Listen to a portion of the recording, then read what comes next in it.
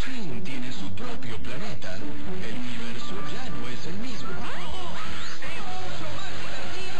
Siento que todavía le quedan muchas locuras por hacer. Observa cómo les doy emoción a esto.